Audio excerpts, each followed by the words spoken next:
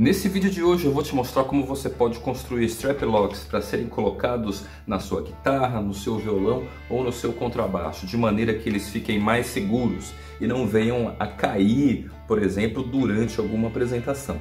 E a vantagem desses suportes é que se a correia estiver do lado contrário, mesmo assim ela não vai se soltar. Agora, olha o que aconteceria se eu retirasse o strap lock da correia com muita facilidade. Se ela dobrar, o instrumento pode se soltar e vir a cair no chão durante um show, por exemplo. E para construir esses strap locks, você vai precisar de duas tampinhas de garrafa, que pode ser dessas de refrigerante ou de qualquer outro tipo.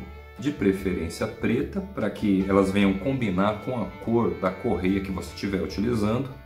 Primeiro a gente vai passar uma lixa para poder retirar a imagem que está na tampa da garrafa. Depois com um estilete ou mesmo uma serrinha fina, a gente vai poder fazer o corte das laterais dessa tampinha. Para dar um bom acabamento, a gente vai dar uma lixada nas bordas. Aí a gente vai furar o centro dessa tampinha com uma furadeira, mas poderia ser também com um estilete. E então também fazer uma abertura com alicate ou estilete, para que esse strap lock seja encaixado na roldana da correia. Caso você tenha o interesse em fazer um projeto 100% seguro, então a minha recomendação é que você utilize duas arruelas. E para isso você vai precisar soltar os dois parafusos das roldanas e encaixar as duas arruelas, depois a correia e então parafusar de volta no seu instrumento. O problema é que nesse caso, se você precisar tirar a correia, então você vai ter que tirar o parafuso de novo.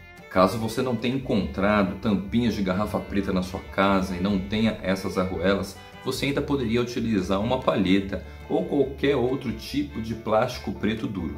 E depois desse projeto eu acabei construindo mais dois strap locks para serem colocados numa outra guitarra.